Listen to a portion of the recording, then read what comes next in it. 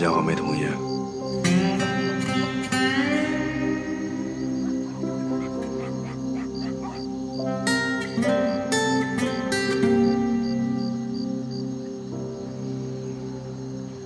把刀给我，你先走。香瑶呢，你就帮我好好照顾，别让她冷着热着。再给她找个好男人。我先谢谢你。不行，你的命没有理由这么快就搁在这儿。再说了，我要是这么干，也没脸再回去见蒹葭了。我还合计着以后能跟他风风光光的回去上坟呢。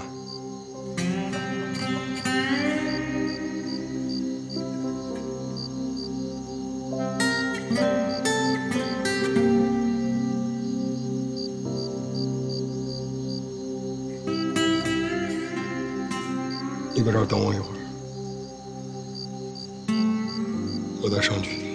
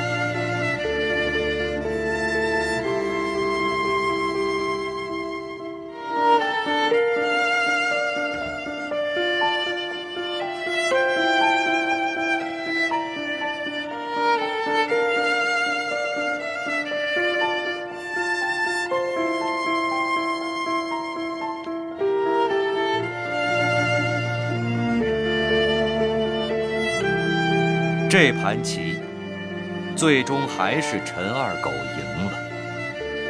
可是这一晚，谁都不知道他们谈了什么。但局势激突跌宕的南京风云，终于是落下了帷幕。可白马探花陈庆之，却知道别人不知道的一点：陈二狗做这些，只是情势所逼，只是为了有脸。回去见一个女人。来来来来来，干干干干干！啊！嗯。陈姐，吃菜。嗯。从今往后，这个地头上，什么三教九流、乱七八糟的，都是小弟。他们见到陈二狗。得跑过来，恭恭敬敬叫一声“狗爷”，啊！但有一个人可以例外，我。我大将军王虎胜，我就有这个资格。我什么时候见到陈二狗，我什么时候叫他一声“二狗”，他得答应。二狗，对不对？啊，二狗，别瞎咧咧，喝多了吧？你笑你大爷！你笑，你笑什么？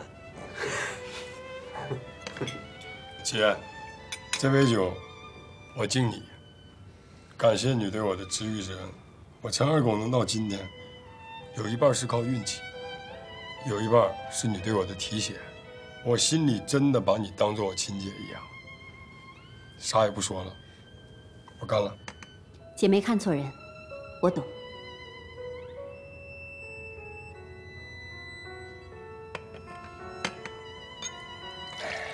青芝，这杯酒我敬你，你的命，我现在不敢借。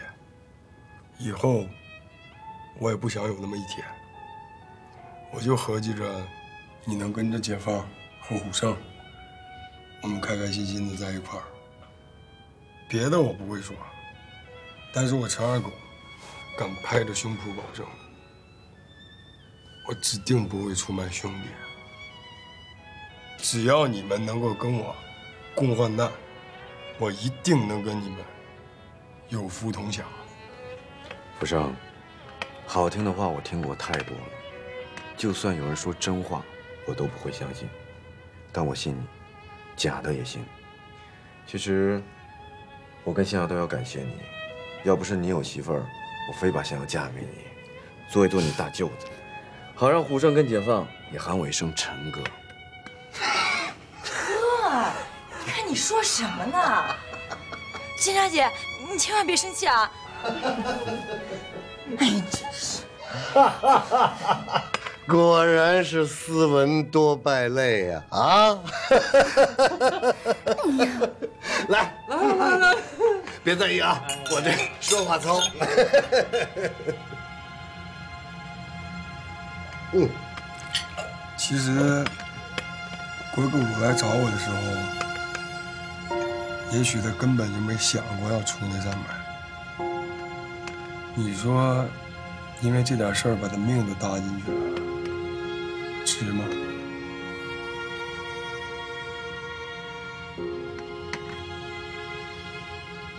郭格鲁，我不知道你为啥这么做，但是没有你这一步，就没有我陈二狗在南京的第一步。以后每年的今天，我都记得。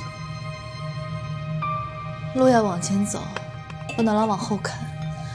这过去的都过去了，明天呢？又会是新的一天。蒹葭说的对，一切呢都是新的开始，大家一起祝福。来，福少，有第一步就会有第二步、第三步，总有一天你会莫愁前路无知己。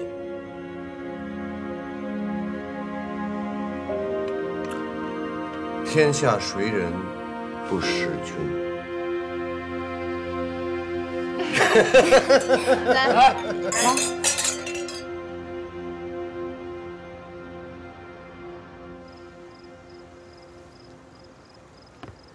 陈姐，我真的衷心的感谢你。如果不是你帮我找到国外的眼科专家，恐怕我到现在还看不到这么美的夜景。其实应该感谢的是福生和蒹葭小两口，他们俩一直把你的事放在心上。我知道，这世界上除了我哥，我没有别的亲人。我也把他们一直当哥哥姐姐一样。你知道，第一次出张家寨，我到了哈尔滨就懵了，觉得自己就是井底之蛙。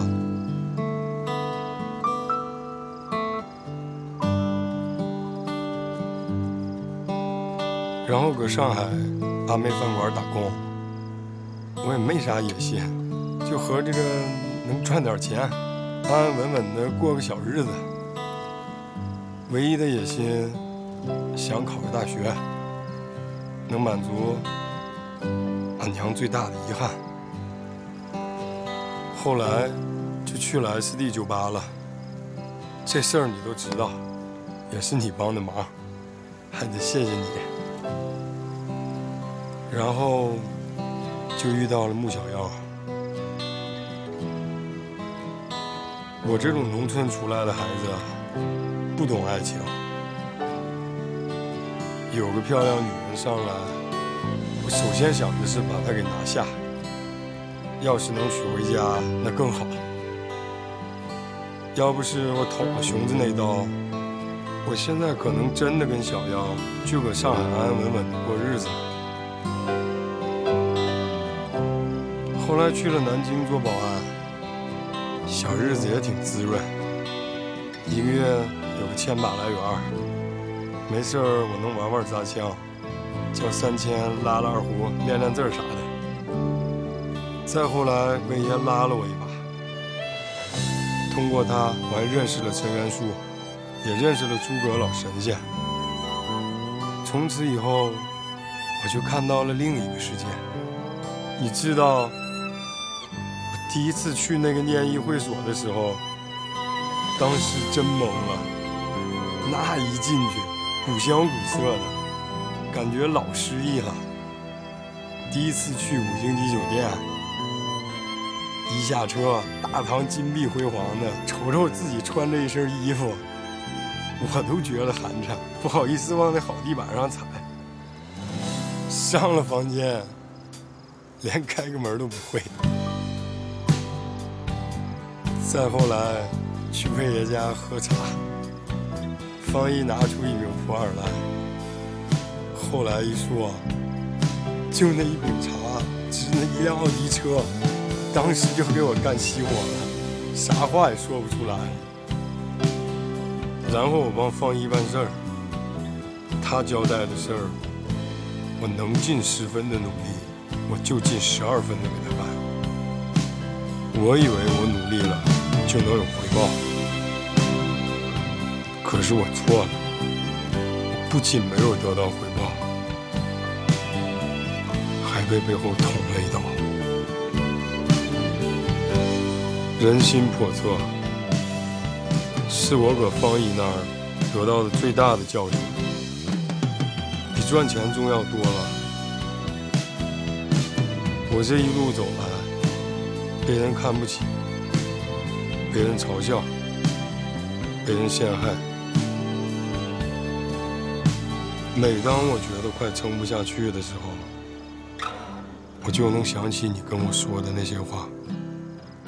这狗娘养的生活，就算把我踩成一坨烂泥，我也给你捏出一根狗尾巴草来。上次在燕子矶，你问我。为什么喜欢你？我喜欢的陈二狗，陈福生，是那个对爷爷心存愧疚，却没有把一个字放在嘴上的孙子，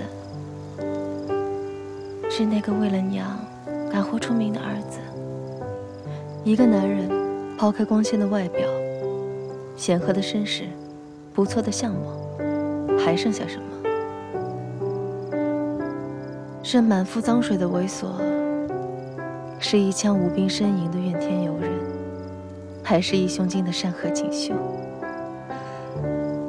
我对很多富家子弟没有额外的憧憬好感，也许是因为他们有的我都有，他们能做到的，我也可以。我有精神洁癖，薄情寡义、沾花惹草的男人不要，精于权谋、不留底线的男人。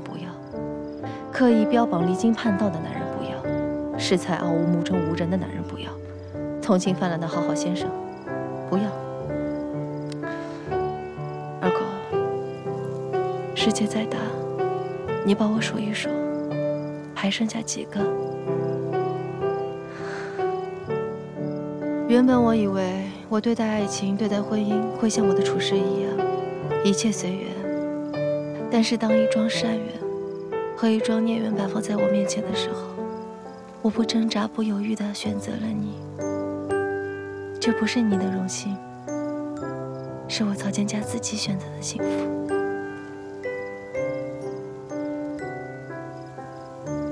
建家，你知道吗？我现在不仅能大声地叫出你的名字，还能看到这么大的世界。以后还会更大。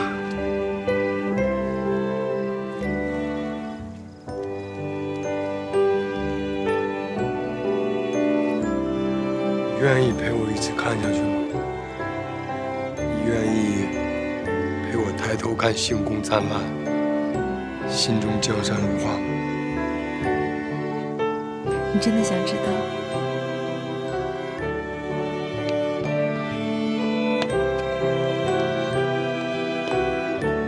我听好了，我叫曹蒹葭，我是陈二狗的媳妇儿。我要陪他抬头看星空灿烂，心中江山如画，一辈子。陪你看星空灿烂，心中江山如画。南京，无关凄凉，无关悲壮。终于在一个年轻男人的隐忍和崛起中大风落。可貌似，真正的大风才刚刚来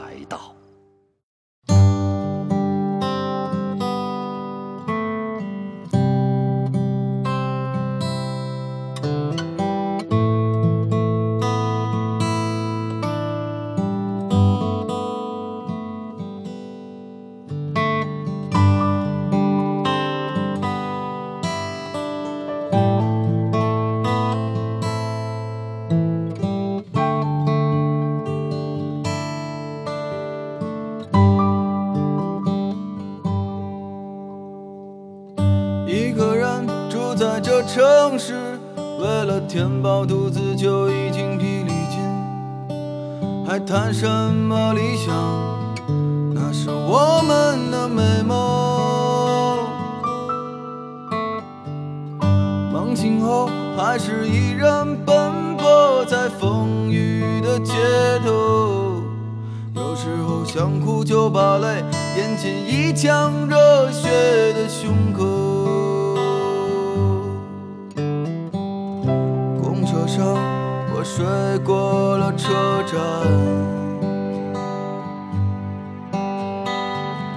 一路上我望着霓虹的北京。我的理想把我丢在这个拥挤的人潮，车窗外已经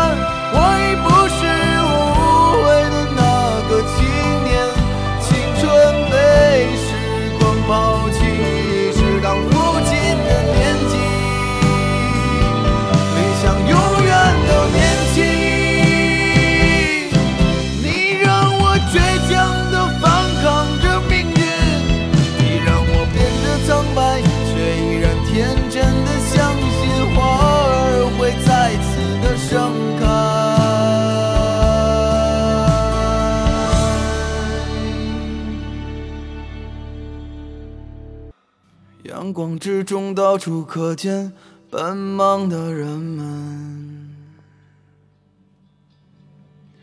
被拥挤着被一晃而飞的光阴忽略过。